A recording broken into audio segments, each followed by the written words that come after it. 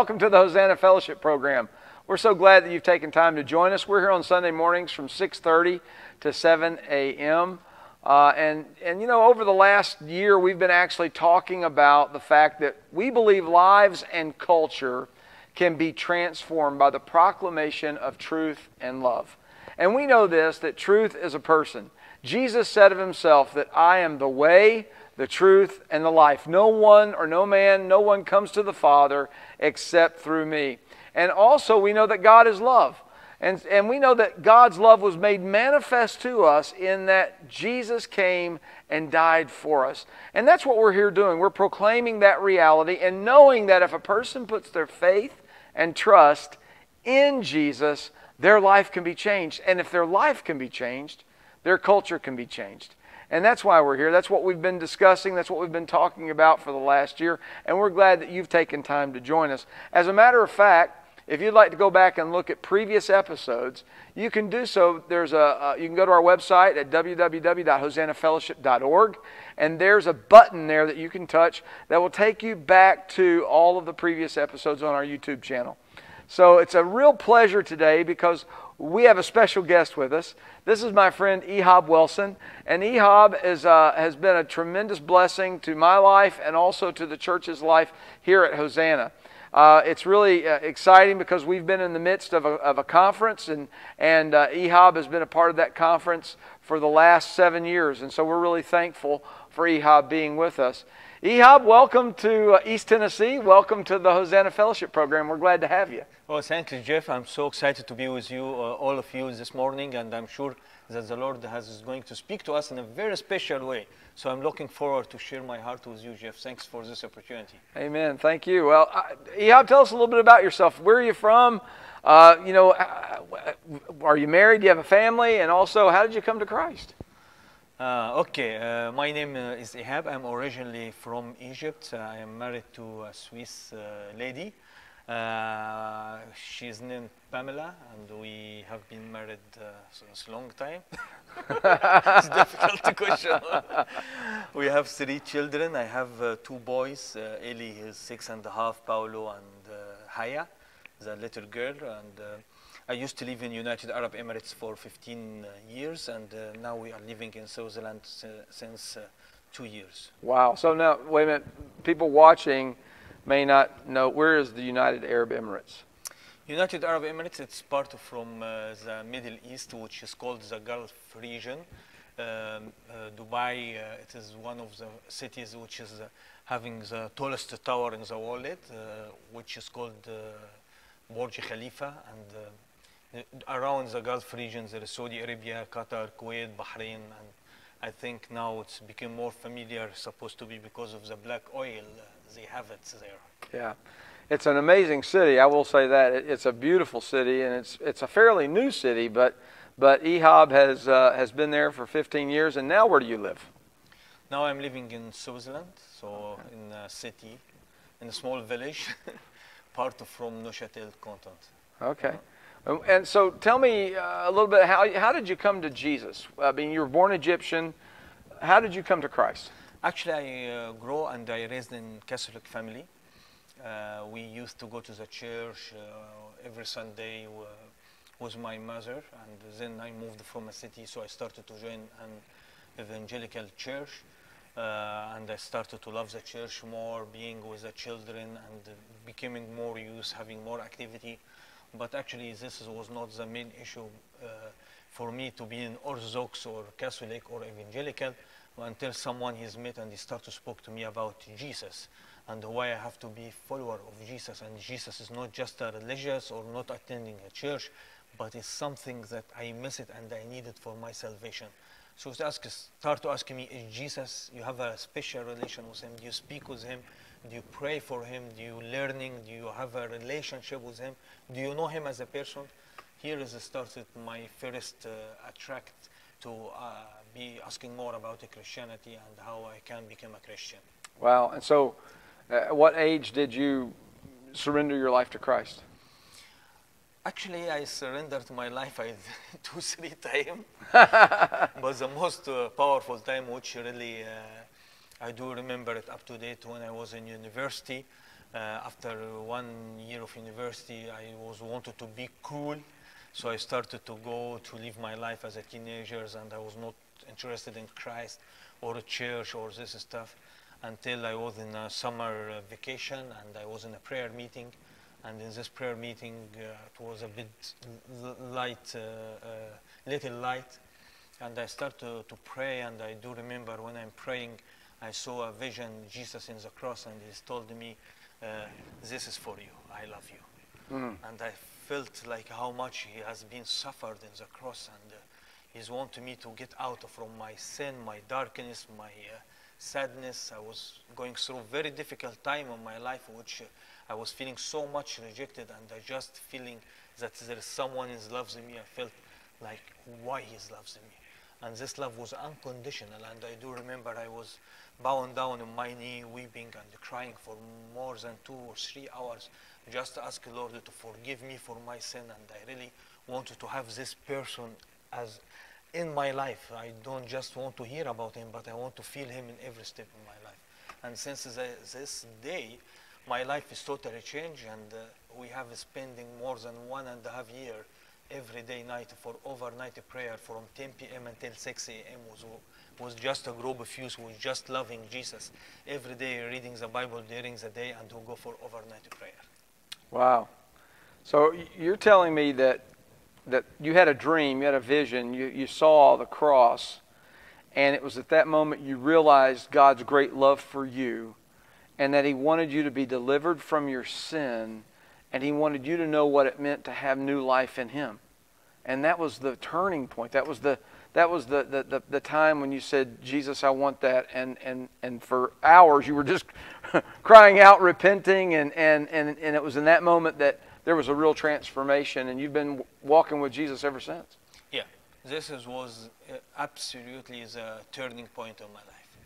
Uh, after this prayer, uh, I was walking, going back home. I was never uh, feeling the same heaviness which I was having. Yeah. I felt a very deep peace in my heart. I felt uh, joy. I felt uh, for first time in my life, I'm accepted from my brother and sister, who's more brothers at that time, but I felt like they loved me, they accepting me, and uh, and uh, I was refreshed, and I slept in very deep peace. I wake up next day, I hate what I'm doing. I just looking forward for the next prayer meetings they will do. So, yeah, there may be some people watching right now that have felt rejected. They felt isolated. They felt alone. They felt like they don't really have much of a purpose in life. And, and yet they've been around church. They've gone to Sunday school. They've done the vacation Bible schools. They've, they've been around Jesus, but they haven't really had this encounter with Christ.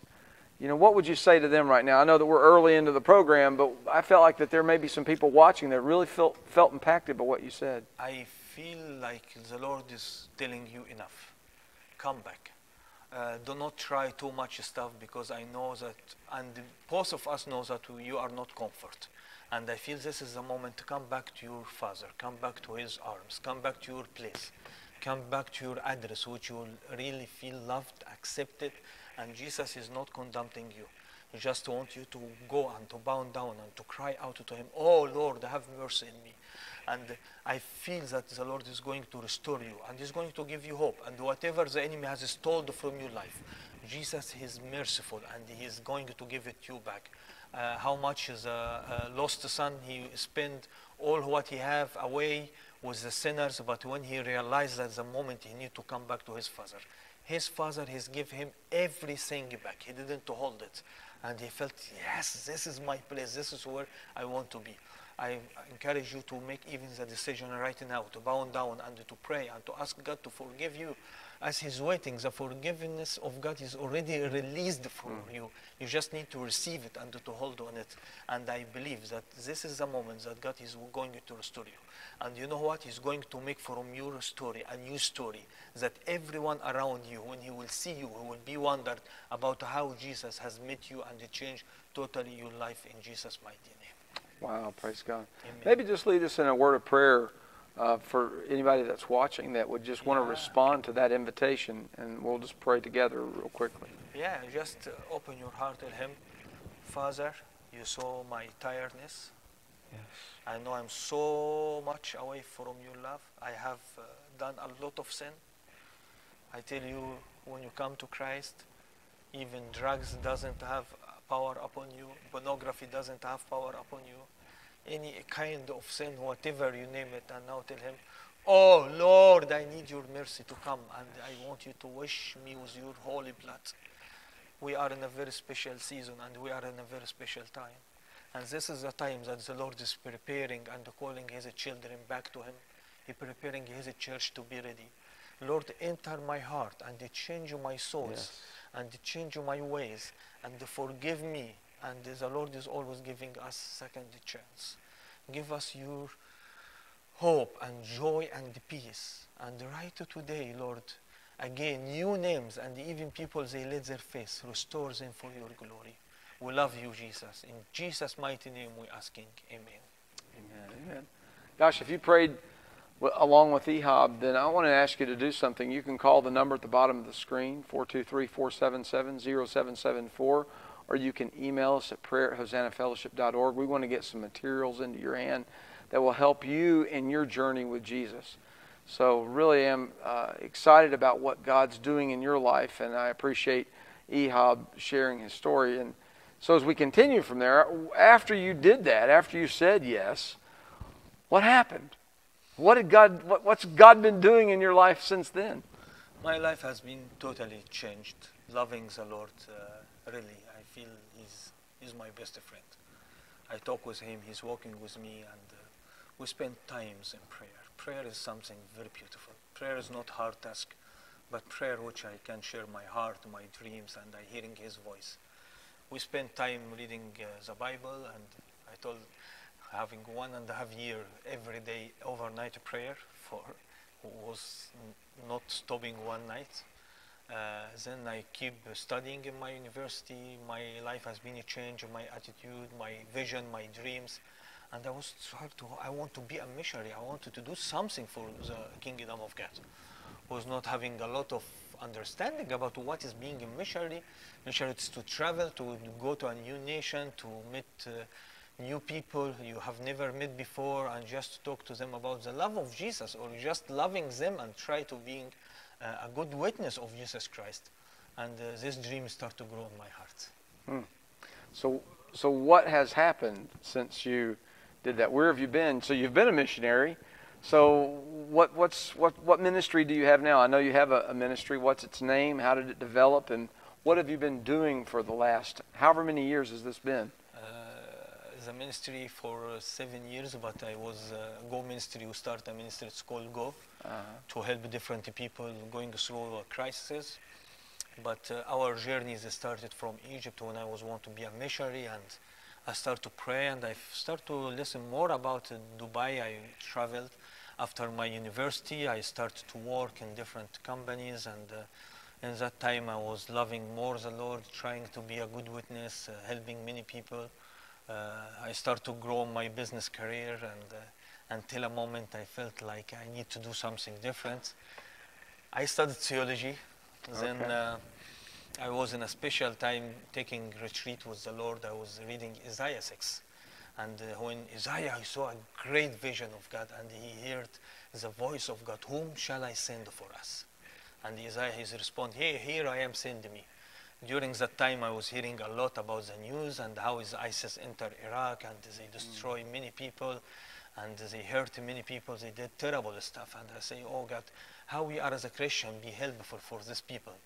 And we start to pray and say, okay, Lord, tell me how we can help. And the Lord started to send people from our church to help in Iraq in this crisis time.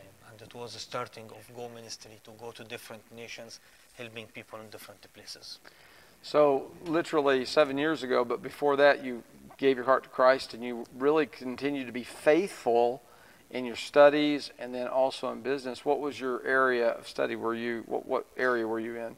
I uh, finished uh, business uh, uh, and commercial Uh-huh. man, uh, administra- management. Uh, I, I, and then I keep studying. Uh, I was working uh, in the port of Dubai. I did customs clearance online, so It was part of my job, and I working in human resource department. I was re-engineering systems development for a company there, Yeah. and uh, I like uh, administration and finance and the management. All right. So yeah, business administration, and and yet he was serving Christ the entire time, giving his all for not only Jesus but for his job, and really looking for opportunities to serve the Lord in how he how he would conduct his business. But it was in that time when you saw the need, and meditating on Isaiah chapter six became a very important reality, which is who will go for us and. Uh, and so you started, and you initially went into Iraq. Is that where you went to? I mean, from Dubai, did you go to Iraq? Actually, we was there uh, in Iraq after two months of this crisis. We prayed, and the Lord has opened the door and was being able to help many refugees, which people replaced inside Iraq. It was, it was very difficult time, but we can see that. Uh, God is always caring about everyone, and sometimes even crisis is looking difficult. You may be going through hard time, but through the pain, the people they started to cry out, "What is the hope? What is the value of life?" Even when you're getting so much uh, uh, involving with business or people so much having uh, income or money, even they reach to the point, what is the value and the meaning of life? So the uh, reality, we do have the answers because Jesus, He came and He gave His life for many and He say, I am the life, I am the truth. One of the most important things that the world is crying out, it's the truth. What is the truth? And we try to manipulating and changing a lot of things. We try to go out of the truth, but every time the human go beyond or uh, manipulating in the understanding of the truth of God, he's putting himself more into unsatisfaction. He need deliverance, he need freedom, and he need to come back to the love of God to help him to discover the truth in Jesus. That's what we're talking about in this program.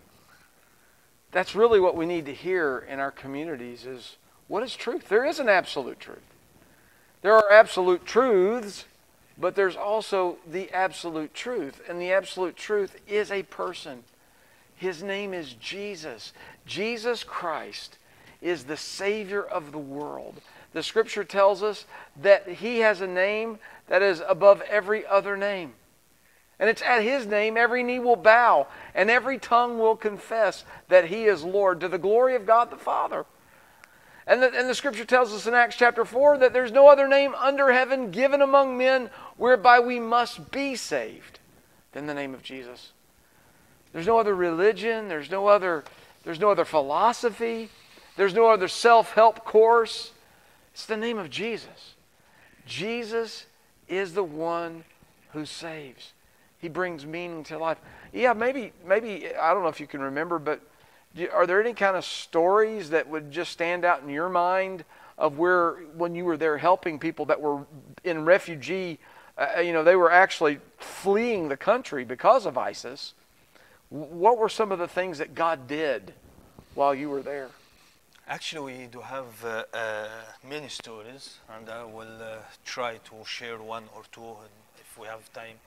But one of the most thing when we meeting many people from different religions in many different parts from the world, and if you ask them what is going to happen with you like after this, or what is, is going to happen to the human when he leaves this world, and no one he can answer this question. In any other religions, everyone he will tell you, we don't know what is going to happen the only source and the only one his answer Jesus is in the Bible was Jesus when he's wanted to others and say I am the life and the and the resurrection. And uh, and this is one of the things that leads the people like why we are living and what is next. You know even the people they believe in the eternal life but they don't know how to reach to God. And this is the only way we proclaim it to all of our friends from different countries we're dealing that Jesus is the way, Jesus is the love, Jesus is the resurrection. It's to come to my mind like we met uh, a young girl, her name is uh, Amina, she was like uh, 12 uh, years old. Uh, ISIS, when they entered the village in Iraq, they take uh, the Yazidis woman as slavery or captive, and they killed all them. Mm. And this, uh, they was forcing the children from like nine years old up to like 40 years old to get married. And sometimes they let them, they wanted to marry that child, this nine years old or 12 years old, three times a day. And if she's refused, they broke her leg or arm and uh, so they throw her.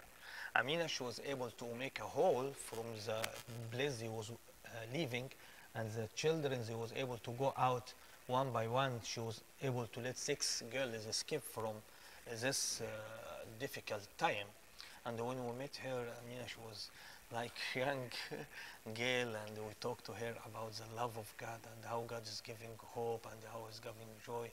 And this girl is because of the love of Christ, because they find like there's other people, they are really Uh, giving unconditional help and they supporting. And we, when we go and we visit, we didn't make any difference. We help everyone, regardless his background, his religious and this. But I remember that the man he was responsible about them, like the head of the tribe. I say, I say like the Christians, they loved us. We felt with them secure. We felt with them peace. Their religious is the religious of peace. When we dealing with Christian, we receive the peace and we receive the joy and we receive the hope. And they start to speak about Christ and uh, we tell them because Jesus has gave his life to us. That's why the, when we give it's not something, it's out of from his love. If someone has give his life, so what we are doing is nothing compared to Jesus' life. And we say that uh, this girl is being discipled, getting inner healing, playing music, having a good time, equipped, and we can see a Yazid, Yazidi church in these hmm. days. Oh, that's awesome. Wow. In the midst of tragedy, Jesus, his love and truth really does transform lives. It really does transform culture too. That's powerful. So after after Go got started, then you began to which Go ETT, which is the ministry that uh, he, he that Ehab leads. Uh, you started conducting schools, I guess, or how many schools were you doing before the pandemic? We did like uh, eight uh, schools, uh, was mission schools to equip the body of Christ from all the Gulf region, uh, to teach them the word of God and to uh, let them how to share the love of Christ with many people. So, who is doing a lot of teaching and discipleship in this part of the world, which is there is the biggest need there. So would you say, I mean, just uh, is the Church of Jesus Christ growing in the Middle East? Jesus always has his witness, and the church will keep growing until the day he will come. Uh, for sure, uh, there is a, uh, Jesus is anywhere. He's attracting people. He's challenging people to read uh, about him the Bible, or to open through the media, or to asking questions. And uh, we have a very beautiful uh, country. We have a lot of uh, tolerance, which we can speak and we can share. We, they are very friendly. Uh, one of uh, we, we have a happiness ministry, ministry in the United Arab Emirates. We have tolerance ministry. Uh, we we living a very good season, and always people they looking for someone real, so they can ask what they how they can help them and get to know the truth. Yeah, and so since that time, you've actually moved back to your wife's homeland, uh, Switzerland, and yet the ministry didn't stop. In many ways, it's actually kind of amped up. Tell us a little bit about what you were doing before you moved back, because you would go back to Switzerland to do outreaches during the summertime, and now what is it that you're doing now? So give us a little update on that. Since we start uh, Go Ministry, we started in the Gulf region, but uh, it was in our hearts to have like a headquarter in Switzerland because this is what the Lord has told us. So we registered the ministry in Switzerland, and we would like to see it in Gulf region, would like to see it in Africa, would like to see it in Egypt, would like you to see it in different nations. And since that time, we keep running our ministry in this uh, Gulf region. We do ministry in some Middle East countries, and we do some ministry in some countries in Africa. And uh, now we're doing ministry in Switzerland, and what the Lord is doing is amazing. Um, we just finished in August uh, a prayer mountain, we call it prayer mountain, which people could come to sit quiet to hear preaching and teaching, spending time with the Lord. And was having people who was addicted to marijuana, and since they left this prayer mountain, they never came back to addiction. They get totally free from drugs. So this is the power of God. This is the power of Jesus. When He's sending someone free, He is truly free. Amen. So, I mean, Jesus setting people free from addiction, uh, marijuana, and other types of drugs. I mean, we, we, testimony after testimony after testimony of the power of Christ to change the human heart.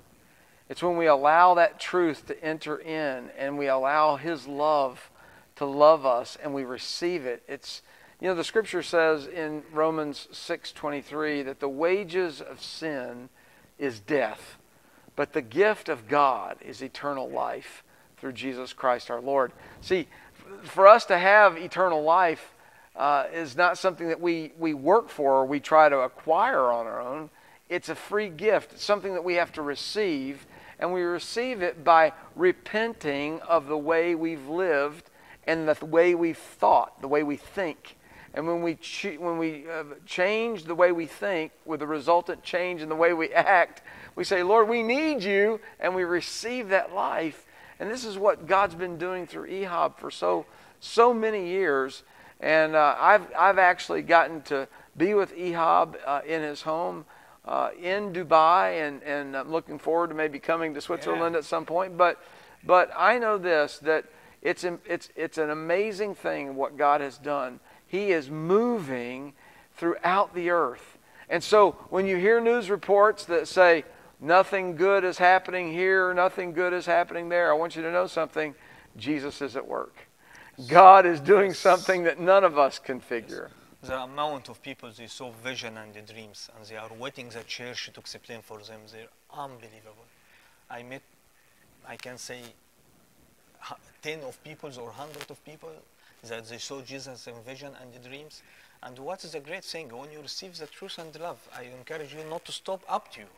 I want to encourage you, if you are Christian, you have a love for being in the mission field, you have a love for the Arabs or people from other nationality or this, please do not hesitate to contact Jeff. Jeff is one of the great men of God. He's helped us through the years in the through the Mission Forward Conference he's hosting here in the Hosanna Church, or he's through networking or doing a mission. You can have a question, you can drop it to Jeff. now I'm thinking, or you can ask how you could reach you to the nation. We need to join our hand for the great harvest is coming. I promise you that we are entering in a great harvest season is coming for the church even what is the lord is going through and if you have even you would get to know more about the ministry what the lord is doing in this part of the world you can contact me or jeff or Awesome. feel free We'll include his information right here on the front. God bless you. We want you to have a great day, and we love you. Jesus we love loves you have a great day